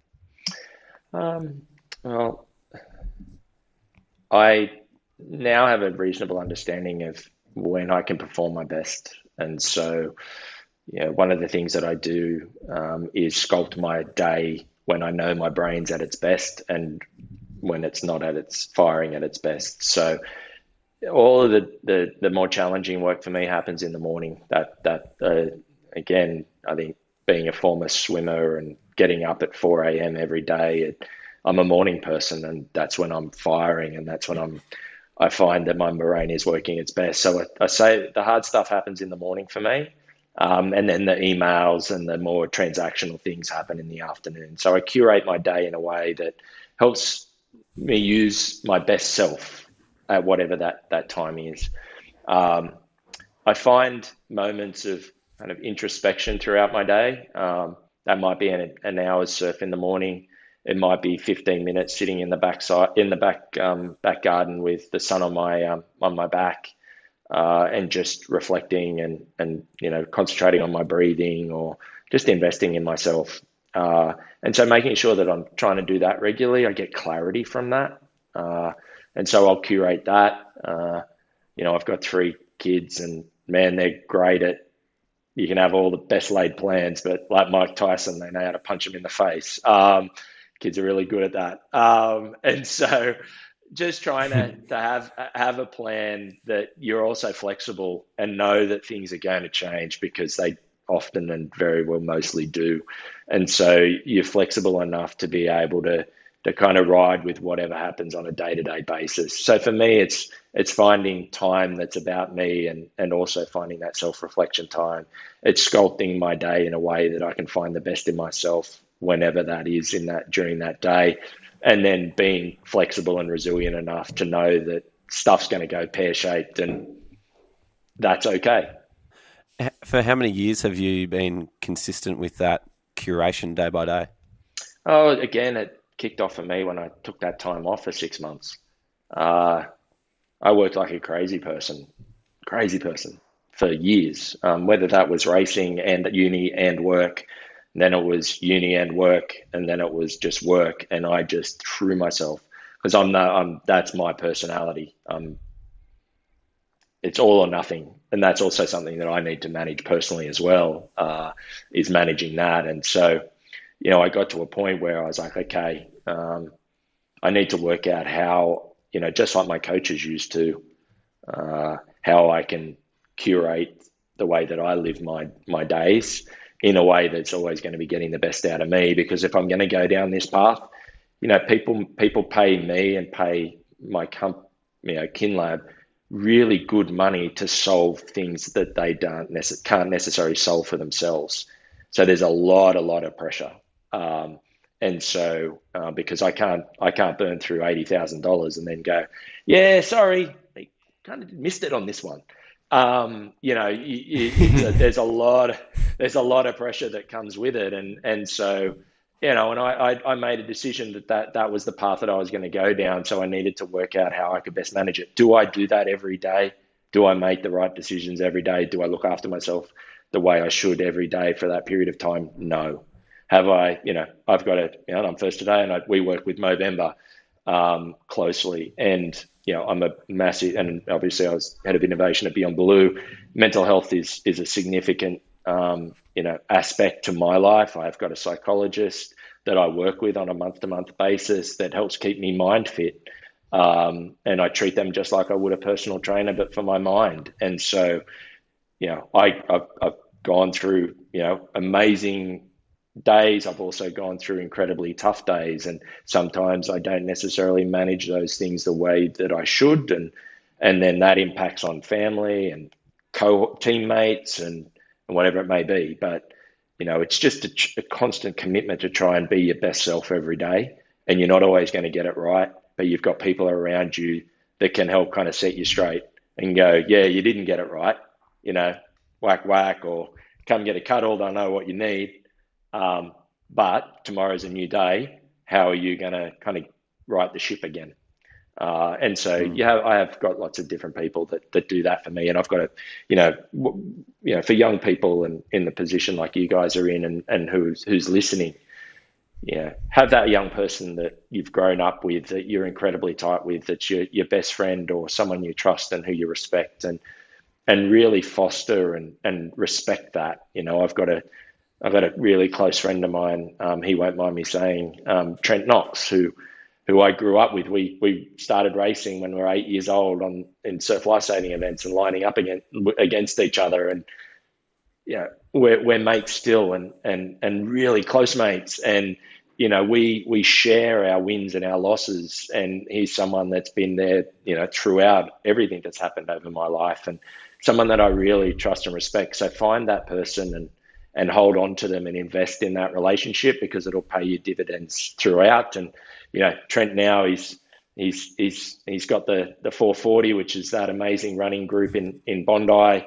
um, that is spread around the country. And and Trent does amazing things. He transitioned his life from being a real a, real, a highly successful real estate agent to now basically having a positive effect on everybody's lives through a, a running community that that that that is is based out of Bondi, and you know, yeah, Trent and I connect on all of those things and support each other and help each other. So, you know, my advice is is find find that per, your, your outside of your your significant other, your partner, or find that mate and be that for them, and you know, work with them throughout your life, um, because yeah, that that'll that'll pay dividends, and that's something that I use on a regular basis. Wow, amazing!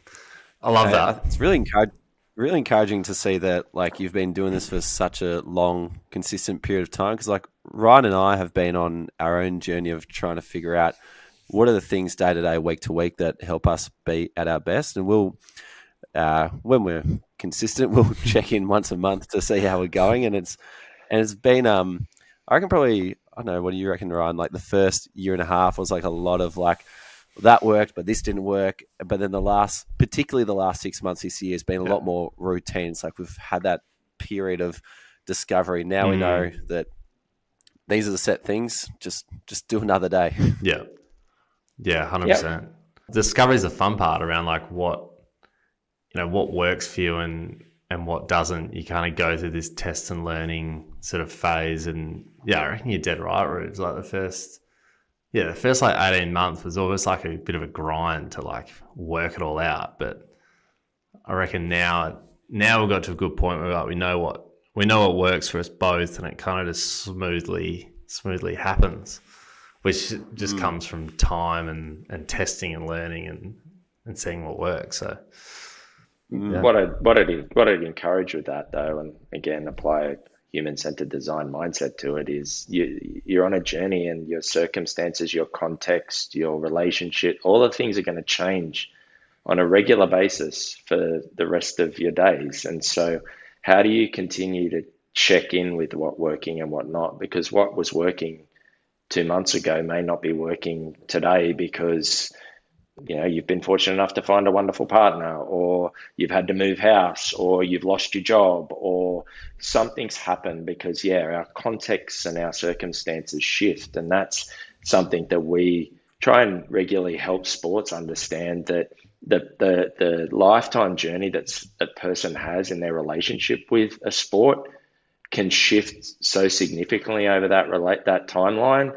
And it has absolutely nothing to do with the sport it could be, you know, you just had a new baby and you're literally in the trenches for the next 12 months trying to get sleep when you can, try and survive. Like, sport is probably the last thing from your mind. And all of a sudden, okay, we've had we've got people dropping off between 30 and 35. Well, that's generally when lots of people are having kids. And men during that time are, are heavily likely to also drop off, not just females. And so you have a job to do at that 35 to 40 year olds again when they're coming out of their cocoon, they're looking to reconnect. How do you make that happen? And so, you know, sport, the more that sport can understand that, you know, these life cycles shift and change and what are products and services and experiences that you are embedding in throughout that journey that's going to help people maintain a connection over a long period of time that sometimes might be really close and really intense and then other times you might not have anything to do with them. But you've got the sow that's been said uh, you know sowed. You got the seed that's been sowed. You're more likely to get them when they come back. You just got to work out how you onboard them again Mm. It's funny you mentioned that example because I reckon just a you know probably less than a month ago, we had Sam Perry from the Grade Cricketer come on the show, and we asked him that question at the top of the episode: Are you involved with grassroots sport at the moment? He said, "No." But I have every intention to be in the future. It's just my stage of life at the moment is I've got two kids under five years old. My wife is a doctor working seventy hours a week. I've just you know if I come to her and say, "Hey, I'm going to hang out at the cricket club for six hours on a Saturday afternoon," like that's not going to go down well right at this point in time. Um, but um, it's like I love just hearing how well you describe that person and just hearing, hey, I know one of them just from from a month ago. They've been in our show, so yeah. um, it's cool yeah. to hear. Well, it's not hard to under, it's not hard to I guess uh, understand how you guys are able to des- design such good solutions when you guys know the person so well. Yeah, and, and one of the big ones right now for us is teen girls. Uh, that's a massive problem to solve. Uh, you have 33% drop off of, of, of, girls t- at 15 out of sport, and then another 33 before they turn 18%. And so, you know, it's a massive problem, but it's also a massive opportunity for sports um, because those teen girls aren't coming back. Uh, they go off into to different pursuits. They go off to the gym. They go off to, you know, essentially, as as it says, I used to be sporty, but I'm not anymore. And so, you know, it's it's these ones where it's not that are necessarily always going to come back. The big drop off ones are the big opportunities where innovation can really start to to take hold. That sport as a sector, as a system in Australia and the UK and the United States is that there is a massive opportunity with teen girls, but you're really going to have to innovate to solve that problem. Um, or you know take advantage of that opportunity. And so, yeah, we're really fortunate, and I'm really fortunate. I've now spent a hundred, you know, tried to work it out around you know well over hundred thousand hours with people in the field, understanding their relationship with sport um, in multiple different countries. I have a crazy brain that can pull on lots of different things at any given moment. Um, that's how my brain works. And so, yeah, I, I, feel very fortunate to be in a position where I, I, I have a very deep understanding of of even why you play sport or your relationship with it, Ruben, or your buddies, or same with you, Ryan. Like, um, why have I just gone back to footy? Yep. At the age of 28, after two years of playing. So watch those knees, buddy. All right, um, that's probably your, one of your biggest concerns. It's more the hamstrings, Adrian. They, they go. go. sort of every sort of eight to ten weeks at this rate. So yep. that's my main so worry at the moment. Guys your age, one of the best things that they can do, the ones that are able to, to keep going, keep moving, they get into yoga. And so because of the flexibility, yeah, and so um, if you can put that mm. into your toolkit, you'll lengthen your your relationship, your playing time, and your relationship on the playing field, which I'm sure you'll want. So what what we see out in the field and in the market is that the guys that get above that kind of in that 28 to 32 range, if they can get out of their own way and add yoga to their toolkit week to week, their relationship on the playing field lasts a lot longer. All right. Googling yoga site. Williamstown. Where are we at with it? That's awesome. Um, Adrian, we just, we just got one more topic we want to cover before we tie a bow on this. I know we've taken up a lot of your time, so I really appreciate you I'm hanging around. The conversation. Um, but we we uh, we usually talk about how people get hired into their, their first job in sport, but you've just hired a brand new CEO in Arthur Gillen, who was the former General Manager of Marketing and Experience at the Australian Grand Prix Corporation. Can you just explain the, the process you went through into recruiting Arthur? What, what did that look like? Um, and so when I was a couple of years, no, was probably 18 months ago, uh, it really started to surface that I, I was at a point with KinLab where I really wanted someone to come in and take the CEO role from off me, um, that I just wanted to focus on solving the challenges and the problems and and that was where I wanted my relationship or my role within KinLab to to to kind of continue on. Uh, and so uh, when I started to talk to people that that was what I wanted to do, I got a really straight question from a mentor. If you had your pick of who you'd want across the Australian sports system, who would you want? Um, and I straight up said Arthur Gillion. Yeah, Arthur is I met Arthur in an interview years ago now, and one of my first sports projects, um, which was to do some innovation in the A League, uh, and I interviewed Arthur as a kind of a, a stakeholder interview um, when he was at Melbourne Victory. He was head of marketing there, and uh, that's the first time I'd met Arthur, and we kind of talked over and over, and then I watched his career flourish and and watched his skill and not only his skill but Arthur's just a fantastic people leader. You know, anyone that you'd say Arthur Gillian to anyone who, who knows Arthur, they can't stop applauding and loving on the guy. Um, and so, you know, it, it, it became, it was like, okay, if I had my choice, it would be him. Um, did I think that was going to happen? Not necessarily. Did I have a significant intent of going out and headhunting him down? No. Um, he, I just knew he was the archetype of what I wanted. I wanted someone who who was incredibly smart, a strong people person, a great leader, um, you know, a disruptor who challenged the status quo. I knew what the archetype was, and he was the closest that I could see in the market um, that that could create change, but also had experience internationally, um, having his background in the UK and, and obviously a relationship with Formula One and um, and MotoGP and having dealt with international brands, which is important for us.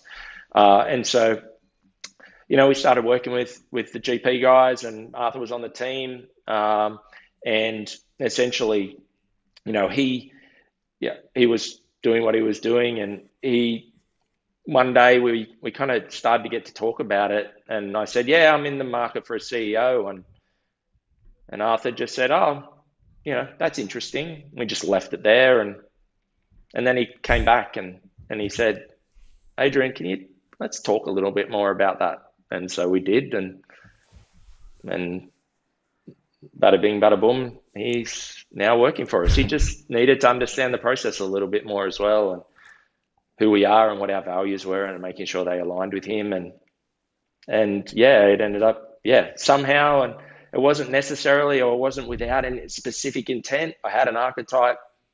There's probably three or four archetypes that fit or people that fit that archetype in the country. Um, and yeah, he was definitely one of them. And I was lucky enough, yeah, that he was interested in joining us. And yeah, KinLab's better for it, that's for sure. Amazing. I love how like he was just a, a really good fit because at the start I thought you were going to say, "Oh, we we knew the guy, we chased him really hard, but yeah. it just sounds like you guys were true to who you you want to be as a company. He's true to who he, he wants to be, and it was it just clicked. Just kind of happened, uh, and that's what I love. And that's also the way I go about what I do too. Um, I don't necessarily do formal recruitments. I don't, you know, make people submit resumes and do.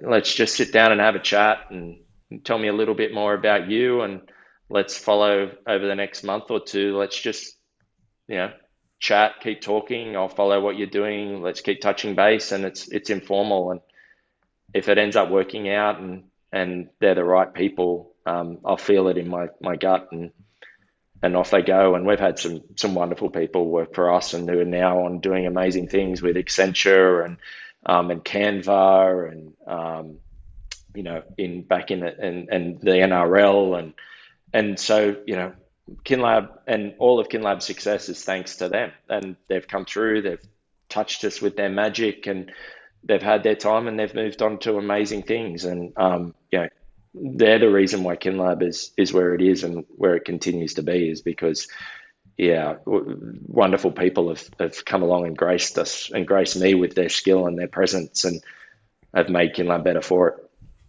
Love it. Uh, Adrian, it's been one of the great episodes. Um, last question for you, um, and that is what's the lasting impact that you want to have on the sports industry? Um, again, it just it comes back to making sport better. Uh, I I want to see less athletes with mental health challenges off the back end of their careers and a better transition into the rest of their lives.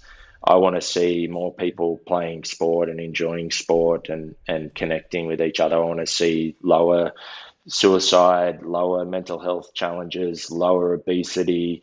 I want to see that. I want to I, I, I want to see this tackling loneliness. I, I yeah, I want to see it from the perspective of you know by making sport better, we're having impacts on health and communities. That's what I'm in this for. And the more that we can have that effect and that more people are playing, more people are connecting, more people are following, and athletes are performing better on the playing field, but are also not burning themselves to the ground in doing so, then we've we've we've we've played a role. You know, I, um, it's fair to say we've worked with 43 different sports now, sports, not necessarily just sports businesses. It extends out from that. Um, you know, I'm very proud to say Kinlab's somehow touched every Australian. Whatever sport they play, or whether they officiate, whether they volunteer, whether they play, whatever it may be, something that we've done has touched every Australian. And then that's expanded off into Europe and, and to the US as well. And so, you know, I'm very lucky and I feel very fortunate that that's I've been able to achieve that over, you know, seven, six, seven years now. Um, now for me, it's less about just having that effect. It's now about right. Let's make some. Let's let's change the system. Like the system needs to change. It's not what it should be. We need to change it. We need to make it better. And when we do, there'll be less people suicides. There'll be lower mental health. There'll be lower obesity. There'll be less loneliness, and the world will be a better place because people will be healthier. Outstanding. Before we wrap up, Rubes, any other episodes relating to this one that people can tune into? I don't. I don't know if there's anything that relates to. I was saying the question, and I was like, "There's not one." this is the most unique and standalone episode we've ever had. But I think for people who have enjoyed uh, what you've had to say, Adrian, and other curious type, I think they'll also enjoy listening to Jay Lee, who's a senior vice president of um, of product at the NBA, whose team is responsible for designing things like NBA.com, NBA app, NBA League Pass, all that type of thing. And uh, we did a part one and part two with him. I reckon he's episode 83 and 85, a long way back in 2021. Nice. Um, yeah, another very great operator as well. So another one to enjoy. Awesome.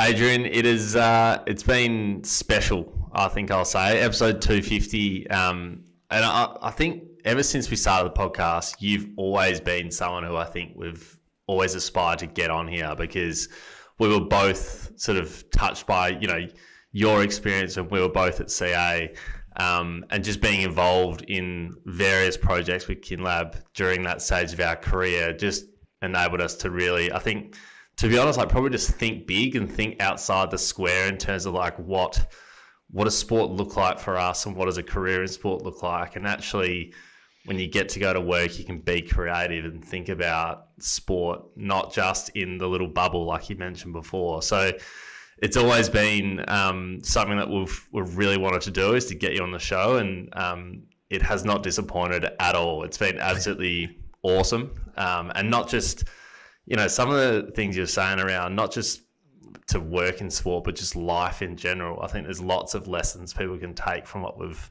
spoken about today. So, really appreciate your time. I know you've almost given us two hours of your uh, of of your day. So, um, we really appreciate it, and um, yeah, hopefully we can catch up in person very soon.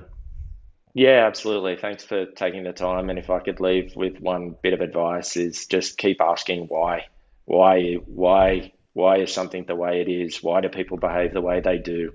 Ask why and then allow that to pivot you off to be more curious and be more creative to solve problems. And so just keep asking why. And if people can do that, great. And I'm always open for anyone to reach out to me. So um, if you want to connect, just hit me up on LinkedIn, send me a message, and um, I'll say g'day and we can connect that way. So uh, I thoroughly enjoyed the chat, boys. Love what you're doing. Think it's outstanding. And I think we're all on the same page that sport can be better and you're helping build a workforce that um, can definitely do that. So bravo and hats off to you.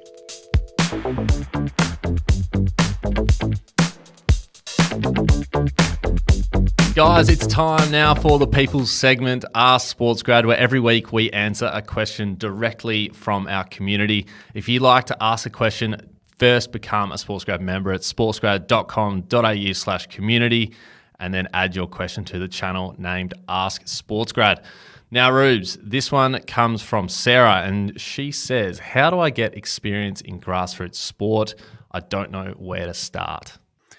Mm, great question. We uh, we harp on a lot, harp on a lot about grassroots sport and the the benefits of it. Not only are you going to get amazing experience, but you'll meet a lot of amazing people, and you also create common ground with people who work in the sports industry because everyone has come through grassroots or is involved in some way, shape, or form. So mm. it's a no brainer to get involved. But in terms of where do you start? It's probably something that feels a lot more complicated in your mind than actually is because the beauty of grassroots sport is that it's all volunteer led. And um, you really just have to be willing to put your hand up and say, hey, I can help in some way, shape, or form.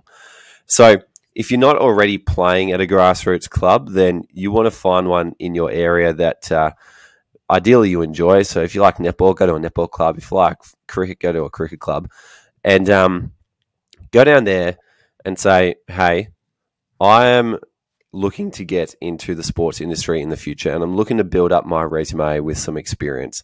I'd love to help out with your club in events or sponsorship or strength and conditioning, whatever you can offer. Go in with a really targeted approach and say, these are the areas that I'd love to get some experience in. Maybe it's social media. Um, if you can make your pitch even more compelling so that it's a no brainer for them to say yes, then have a think about the specific impact you want to create. For example, if you want to help a grassroots club grow their social media accounts, you might say, "Hey, I've jumped on your Instagram feed, and uh, you got about 200 followers at the moment. The last time you posted was uh, 11 months ago. I reckon I could grow your following up to a thousand by the end of this season, and I reckon I could post consistently and grow the culture of the club and grow the engagement of the club by um, taking ownership of this channel and, and helping you guys use it properly.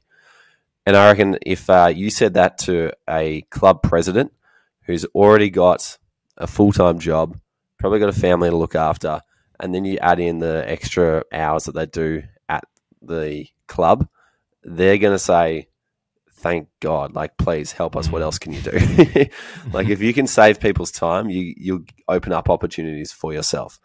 So, um, get down to your local grassroots club, come with a specific ask in mind, and uh, doors will, will suddenly open for you. But um, we um, we go deep into these topics in uh, the sports grad community. So if anyone wants like a really sort of step by step approach to doing this properly, if you want to hear the Q and A that we have with our members and uh, the further follow up questions that they have on this topic, uh, there's a whole bank of these resources in the sports grad community. I think there's a one hour webinar on this topic. There's probably a couple on this topic. We've, we've done a few yeah. from different angles. Yep. But if you want to go deep, then um, check out the sports grad community and uh, the resources that come with it. Yeah, that was an awesome webinar. And I think in that session as well, we sort of go deep about how to actually approach an organization as well. So literally, you know, we almost like draft up your email, to be honest. like we just go deep into it. So if you are interested, uh, absolutely jump in and you can you can get more info. Uh, if you want to ask us any questions like like this one, uh, or you want to ask our friends in sport a question, as we said, just become a Sports Grad member. Uh, we mentioned as well each fortnight we jump on an online session, so whether that's speed networking or a job fair or a Q and A, that happens every fortnight. So jump in and get involved. We said this Wednesday we've got uh, She Hoops, uh, which is from Basketball Australia, jumping on, so that's going to be a great session. So become a member between now and then, and you can jump on that. Uh, anyway, in the meantime, find us on LinkedIn, find us and give us some love if you love the show. Subscribe on Apple and follow on Spotify. Thanks for listening. We'll see you next time. Hey guys, one last thing before you go. If you'd enjoy a quick email from us each Friday on all the latest job openings, networking events, Q&As with industry professionals and latest podcast episodes, then subscribe to the Sports Grad newsletter head to our website www.sportsgrad.com.au forward slash newsletter to subscribe. There's also a link in our show notes to join.